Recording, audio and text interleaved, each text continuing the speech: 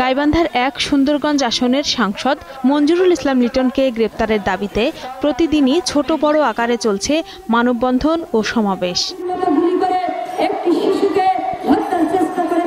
গুলি দোসরা অক্টোবর লিটনের ছোড়া গুলিতে গুরুতর আহত হয়ে হাসপাতালের বিছানায় কাতরাচ্ছে শিশু সৌরভ।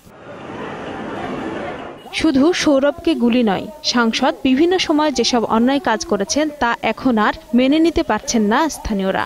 সাংসদের বিরুদ্ধে সরকারি বরাদ্দ আত্মসাৎ সহ নানান অভিযোগ খোদ দলীয় নেতাকর্মীদের। বিভিন্ন স্পটে গুলি করছে একজনের বাড়ি উচ্ছেদ করছে সে এখন খোলা আকাশের নিচে আছে। হাসপাতালে আসে পাঁচটার সময় আসে ওয়ার্ড বয় কে গুলি করেছিল দুইটা গুলি করছে।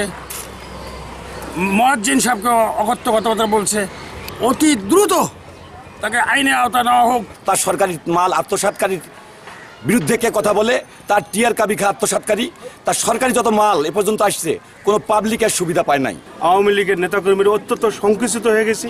এখানে আমাদের মুখ দেখানো দায় হয়ে দাঁড়িয়েছে এদিকে এসব অভিযোগের বিষয়ে কথা বলতে সুন্দরগঞ্জের বামনডাঙ্গা রেল স্টেশনের কাছে লিটনের ব্যক্তিগত অফিসে গিয়ে পাওয়া যায়নি তাকে তবে তার কর্মীরা এসব অভিযোগ অস্বীকার করেন। ঘুষ খায় না দুর্নীতি কোনো কিচ্ছু নেই।